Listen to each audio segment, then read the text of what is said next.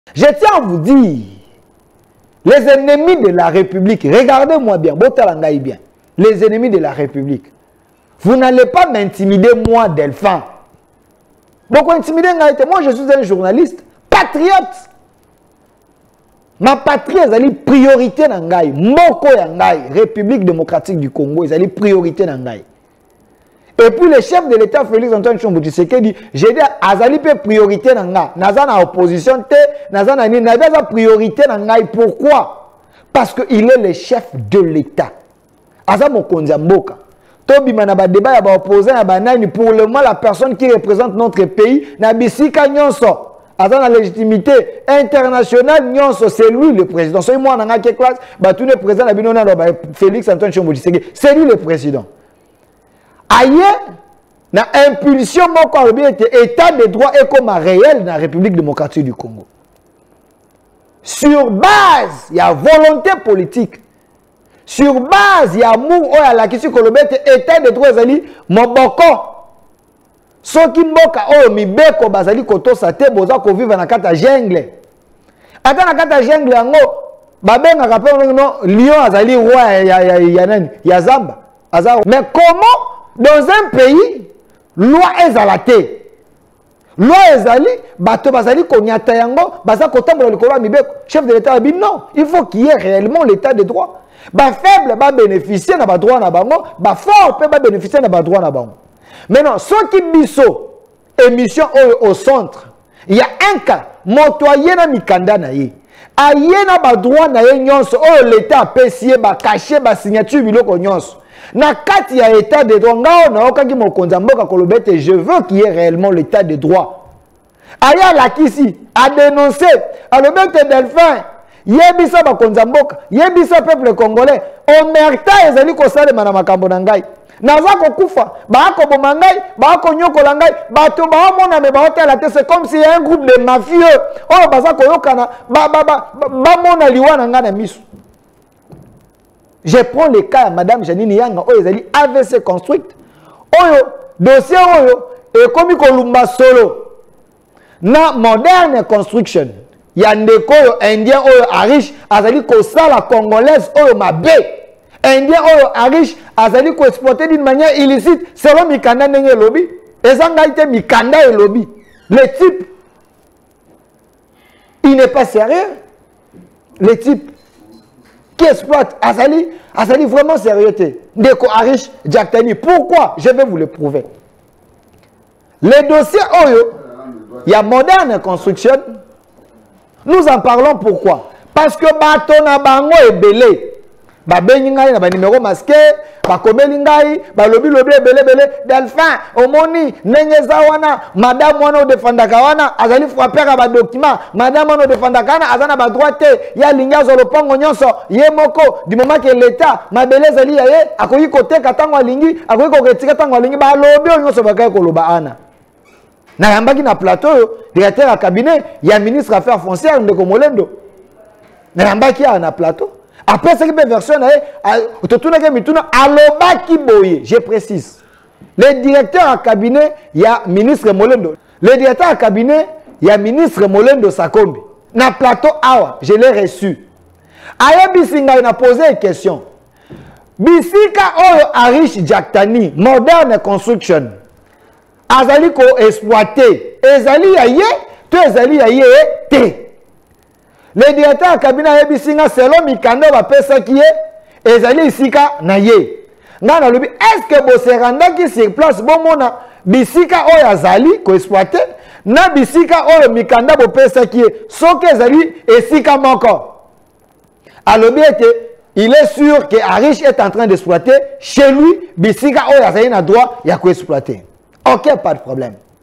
mais ce qui est plus grave ce qui est plus grave c'est que ministère affaires foncières un esunga madame janine yanga esunga dossier O, de façon ke sa son lumière selon madame jani miyanga c'est comme si ministère affaire frontière azalaki de meche avec ndeko ya riche jactani aza kosunga vena mwa claire te azala kozwa penchant selon madame jani miyanga mais nzambe alalaka te eloko ezali ya moto ata oyibi ata obotoli eloko ezali ya moto nzambe oyo azalaka juste akoluka par tous les moyens abimisa lokuta ya bato oyo liboso ya miso ya bato kami oyo azali structure oyo organe oyo epesaka octroi na bato ete bayeba na koexploite na kati ya repede mokati du congo carré minier ainsi de suite ezali secteur na ye eza domaine na ye madame janine ake na kami alobi ete bino bopesaki ngai ndingisa nazwa lopango na ngai boyebi badroit na ngai nasamba awa na bato ya kapuku nalonga tala likambo ezali boye boye boye boye kani eske kobimisela biso badone satellitaire parce que na kati ya lopango na ngai naza komona bamafio bamiyibi bato oyo baza contre chef de l'état bazali koexploite bazali koexploite mais toi na kati ya état de droit yo quand même oza na badone satellitaire sunga ngai kani abimisi badonne satellitaire atal eske bisika bato oyo bamafie oyo bato ya riche jactani bazali koexploite ezali esika na bango to ezali esika ya madame janine yanga badonne satellitaire ebimi balobi ete esika oyo bazali awa ezali esika na bango te esika na bango ezali kote mosusu madame alobi tokoma sur place kasi ya bomeka mpe kotala peut-être ngai naza na miso me naa komona te kami akiti sur place na bainspecte na bato nyonso bakiti sur batye baappareil bakomi esika moderne construction azali koexploite na kati ya lopango ya moto parce que bango baa na mbongo bakangi lopango ya moto en otage batie bapolicier batie basoda bazali koexploite sans titre sans document na kati ya état de droit un indien fort ari jaktani il exploite dans la passage d'une personne sans titre sans document ni l'état apesa ye ni nini azali koexploite d'une manière illégal na kati ya lopango ya moto madamu alobi no kami toke kami akomi atuni bato oyo baza koexploite na lopango alobi bisika oyo boza koexploite ezali epa na bino bango balobi wi ezali epa na biso ok bolakisa mikanda bakomi kobeta monoko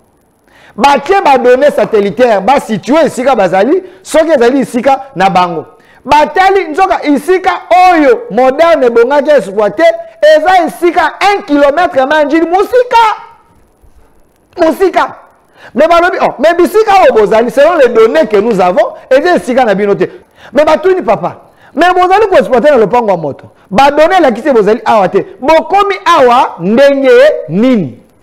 cette question mpe natuni yango bandeko ya fer foncière ndeko molendo sakombi kami aza na badonne satellitaire bisika molendo azali koexploite euh, bisika arijaktani na moderne bazali koexploite ezali esika na bango te kami apesi badonne satellitaire eza esika na bango te nazongisi maloba na directeur ya cabinet bino bato oyo boyebaki te ke peut-être ariche azali kosala exploitation moko illicite voilà kami yeyo apesi baélément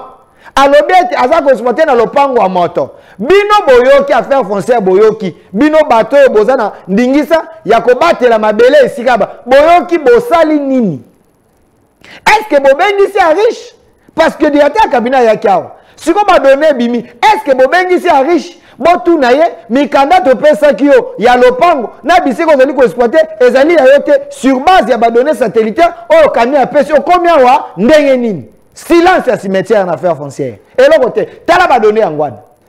oyo ezali isika concession ya avc ezali yango wana mais moderne aye atiki sika na ye aye koexploite awa ntango oye koexploite contrat d'amphithéose oyo basignaki na molendo sakombi contrat d'amphithéose depuis ka contrat d'amphithéose ekoma exploitation ya mabanga bopesa ngai image ya camion wana eza kobima na mabanga moderne oyo moderne construction oyo azali konyokola bacongolais ndeko ari jactani bokoki kokanga ye te pesa ngai nanu image oyo camion eza kobima na mabanga nalakisa bato ya fer français peut-être bango bamonaki te camion ezobima na mabanga na contrat d'amphithéose tala yango wana ndeko bolendo sa kombi bandeko ya fin foncière bino bato bobatelaka mabele contrat d'infiteose aridi dapteni aza kobimisa mabanga na contrat d'infiteose est-ce que ça peut se faire bokangi miso bozomona to bozomona te to boomona bobeti kaka to peut-être dollar eza koleka koleka koleka bato mosusu moye barespecte etat de droit ezali te boya komona te ndeko bolendo sa kombi ozali oyo chef de l'etat asali confiance arenouvele yo amemi yo lisusu areconduire yo me makambo ya boye ekosepesa mokonzi ya mboka te un contrat d'infuture signé par vous affaire foncière na moderne me eza kobimisa mabanga toa koloba toa kobeta kelelo boyoka bokoka na koagir il ne faut pas rester silencieux comme ça ce n'est pas bon congolais nokesala makambo boye na inde ake na inde aza na mokanda te aza na titre te azwi esika ya bato akomi koexploite esalemaka na congo bokangi misu ndenge mpe nayoki bato oyo bazalaki sur place bato oyo totindaki sur place balobi ete bande bato ya riche jaktani oyo bato baza koexploite na lopango ya avc construction d'une manière illégale baza kosala yango na batrafic d'influence balobi ete bango baakozwa mabanga bakosalela pourquoi parce que baza na bacontrat na mboka baza na bacontrat na mboka baosala misala ya chef de l'etat misala ya mama denise ndenge bato oyo bauti kuna balobi bato ya moderne baakoloba bongo soki babotoli bango esika wana bakosala misala ya mboka te bakosala te parce que esika nde baya kozwa mabanga mais le contrat oyo bino bozali na yango ndeko ariche jacten to moderne construction bosigne contrat bapesi bino mbongo mais achete bosomba eza esika ya moto yo okobima ganki te na lopango ya moto obotola lopango ya moto obanda koexploite na esika na ye parce que tu as un contrat avec le gouvernement eza na sens te wana ezali kibanditisme ezali kibanditisme konyokola mwana mwasi oyo mama oyo chaque jour devant la justice kolela kolela kolela nzoka ariche aza nde moto oyo ndenge nayokaki bato ya, ya, ya, ya, ya, ya avc koloba asomba na ye justice atya na poche asomba na ye justice atya na poche parce que bisika nyonso bakoleka omona kaka boye mbongo ezotambola ndenge magloire alobaka awa odio moko ya magloire elekaka mbongo akotambola ce qui n'est pas juste je demande au chef de l'état les trois photos boa komona oyo madame janine yanga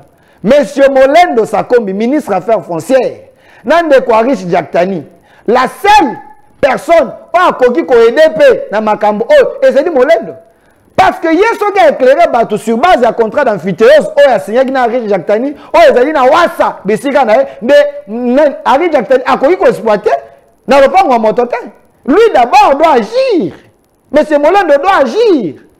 sur base ya badocument oyo bapesaki ya riche baverifie aza na adresse nini aza koexploite wapi ça c'est la première euh, Euh, nini préoccupation na biso de façon ke molendo sakomi akoka na koapporte un plus deuxième préoccupation la justice ya mboka na ngai bokanga misu te Kami vous dit, ce monsieur ici Henri Jactani exploite d'une manière illégale bisika oyo ezali ya ye te aza na titre te aza na droit te mais anganzami na lopango ya moto azali koexploite les données satellitaires ezali kami apondre un rapport pour dire que bato oyo baza na ndingisa kosala te mais bokangi misu bokangi misu bokangi misu bokangi misu pourquoi pourquoi est ce que boya kolinga mboka est ce que bolinga congo est ce que bolinga bolamu ya bacongolais telema botelema il est temps tokoka na kodefendre mboka na biso ntango ekoki totelema mpo na ekolo tôt ou tard soki justice ya mokili esali te la justice divine ekosala eloko ezali ya moto eza kaka